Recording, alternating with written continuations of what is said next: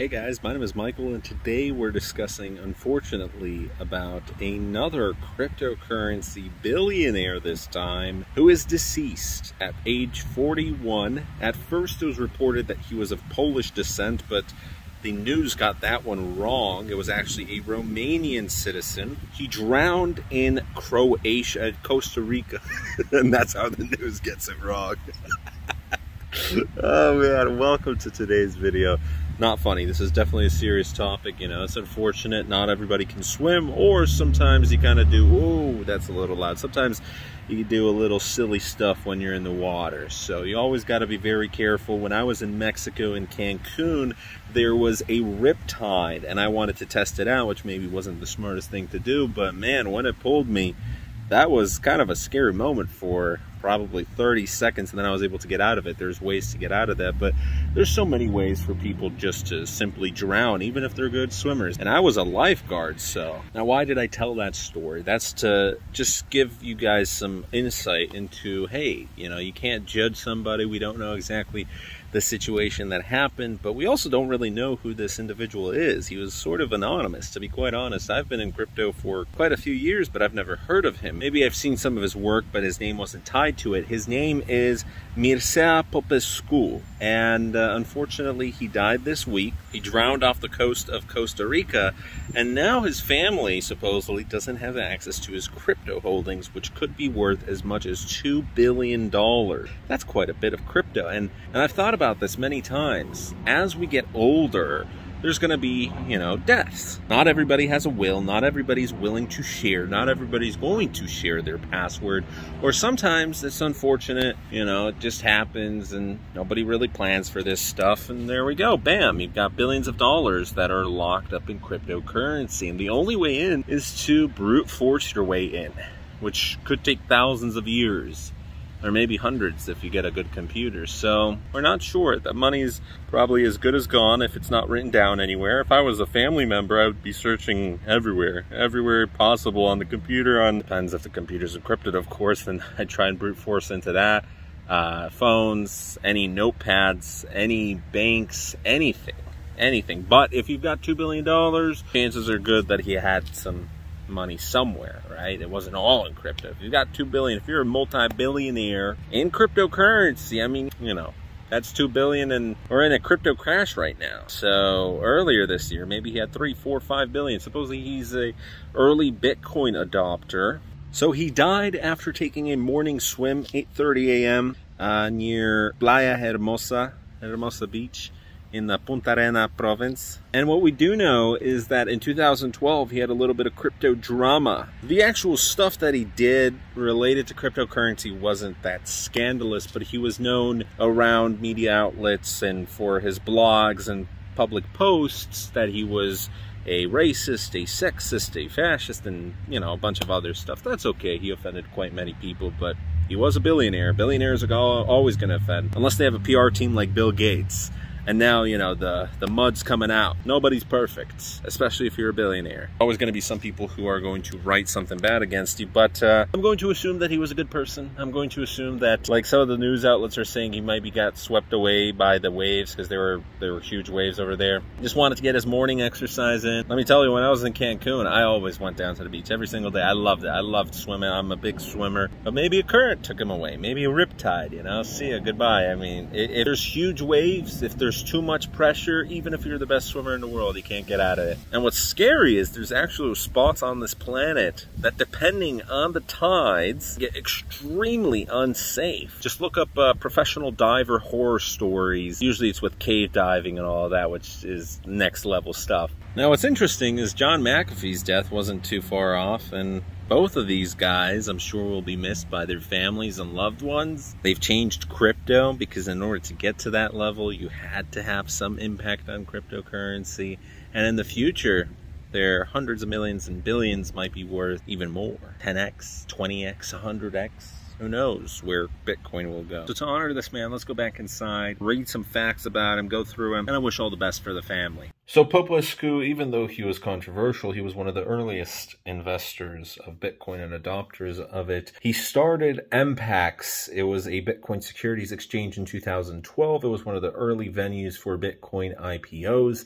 The SEC did an investigation on it in 2014, but it doesn't appear anything came out of that investigation. Some people dubbed him for being very crass, uh, the father of Bitcoin toxicity, but whatever. You're, as you get more successful, you're always going to get those haters. Uh, he wrote, Bitcoin is fate. It operates completely outside of any human agency. For all you know about Bitcoin's creator, Satoshi Nakamoto, Bitcoin might as well have created itself. Bitcoin can kill all your friends and all the people you respect. It can poop in your drink and Wait, what? Pets? If lightning strikes where you sit, whether you feel a warm, cozy sort of love or the most burning hatred imaginable is strictly irrelevant. Electricity stays. Okay, I'm gonna have to most likely censor a few words there. I'm not sure what that. He's got some great pictures though. Uh, in another one of his essays, he outlined the roles he believed women were suited for in society. Okay, we're not going to talk about that because we have to keep it very kid friendly. Someone uh, wrote about him. He was a thoroughly unlikable person who taught me so much about Bitcoin. I think the thing that will stick with me is his insistence that noobs lurk for six months before saying anything. We'd have stronger communities if this was a tradition. And I was a big proponent of that for a very long time because six months is a long time in cryptocurrency uh, because you can learn so much within those first six months. Tim May and Mircea Popescu, both deceased, the latter just recently considered by some to be Bitcoin philosophers philosophers or visionaries who deserve respect. Who's Tim May? Tim May was an American technical, political writer and electronic engineer and senior scientist at Intel. He retired from Intel in 1986 and died of natural causes at his home on December 13, 2018.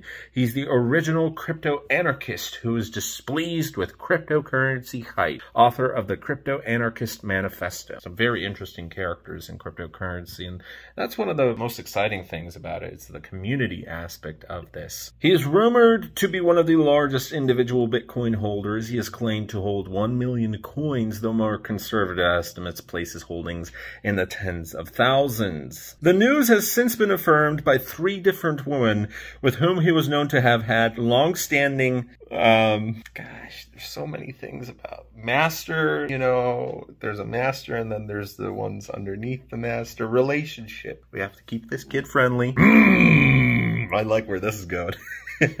Very high energy. The SEC's investigation, well, his opinion on that uh, he took no shortage of joy in openly undermining their power. Popescu would gain notoriety for being among the first to combat scams in public, emerging as a vocal critic of Ripple, as well as Bitcoin Savings and Trust, which was later revealed to have been a pyramid scheme. His blog, Trilemma.com, contains all of the above, an aggressive brand of unapologetic Bitcoin evangelism that made his influence despite documented instances of being blank, blank, blank, blank, blank, a bunch of other stuff. oh. Uh, indeed, there are those who believe Popescu should have no recognition at all in passing due to his long and demonstrated use of hateful language. For others, his influence on the Bitcoin conversation is and was undeniable. An avid antagonist of Bitcoin coders, he would do much to undermine early lead developer Gavin Andresen's claims to any link or lineage to Satoshi Nakamoto, referring to developers of the day collectively as the Power Rangers in blog posts that sought to portray their attempts to enhance the code as ego-driven, misguided, and generally infantile. These self-styled developers are by and large a bunch of can't say that word, children looking for sexy projects, and who knows, maybe if they geek out more, they might become, mm, can't say that word, and some fatty somewhere is throwing her bra at them. I love his posts, they're great. Though it's hard to pinpoint exactly where in his sprawling anthology, it was common for him to post between 70 and 100 blog posts a month. Therein, he articulated some of the earliest and most impassioned arguments for why the description Bitcoin user must be confined solely to those who run nodes. Popescu use the metaphor of peasantry and, an aristocracy to make this distinction clear. People who don't run their nodes are peasants, and this is the reality. He put that in terms that everyone can understand. At times, he even successfully combined his unconventional, unconventional relationship lifestyle with his Bitcoin musings in posts that argued for the freedom and ecstasy that could come from submitting to the software's rules. Was Mircea a flawed character? Undoubtedly so, but in his worldview, only the software mattered, and at a time when Bitcoin was, in, was in its infancy, he emerged as one of its most spirited defenders. Satoshi Dice, a popular gaming website, gambling website that only accepted Bitcoin, was listed on the Romanian-based MPEx by Eric Voorhees. Eventually, the listing became a part of the SEC investigation after the offering was not approved by the regulator. Voorhees was later fined and forced to buy back the shares that were listed, and during the situation, Popescu was famed for trolling the SEC, going so far as to post his correspondence with the enforcement team in his blog posts. His eccentricities was on full display as he set out to dismantle the SEC's requests and lay bare the holes in their arguments for information about MPEx and client activities. Despite the little known details about his personal and professional endeavors, Popescu's commitment to open source systems is well known. After the open source operating system OpenBSD, which has been around since the 1990s, ran into funding issues, Popescu donated $20,000 in 2014 to keep the nonprofit foundation behind the software running. Given the security-centric approach of the operating system and Popescu's leanings, MPEx also employed the technology in its very own platform. Mired in controversy for years, Popescu left behind many quotes and sayings, some of which painted a fairly negative image of the man himself. I personally don't judge a man just based off of his thoughts, and in certain texts, I can say that, you know what, at least he didn't care. He was honest, and that he wasn't a Romanian, which is close to Poland, and what I've learned living abroad in Poland for four years, I just recently returned, is in Europe, especially Eastern Europe, they're going to be very brutally honest, and you're most likely going to get offended if you're American. You're going to get offended because of any comment that they make. They might say, hey, I hate your shoes. They look like blank. And you're going to be like, whoa, you're taken aback because you're so used to the fake American, oh, I love your shoes. Where'd you get them? It's like, really, nobody cares.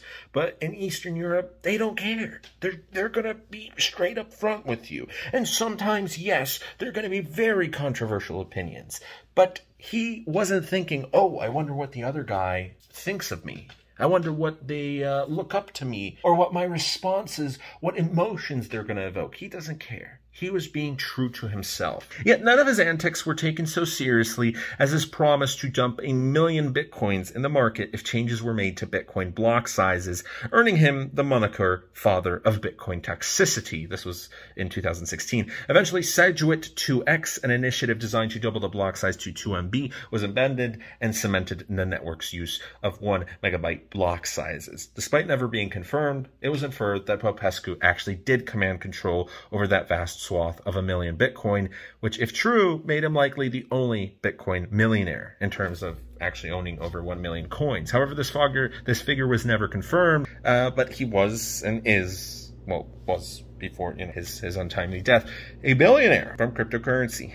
So, for now, the situation remains shrouded in mystery amid the lack of formal confirmation of his passing. And just like John McAfee, you know, there's a lot of these weird situations. I'm going to leave the links down below pretty interesting figure. Pretty interesting figure.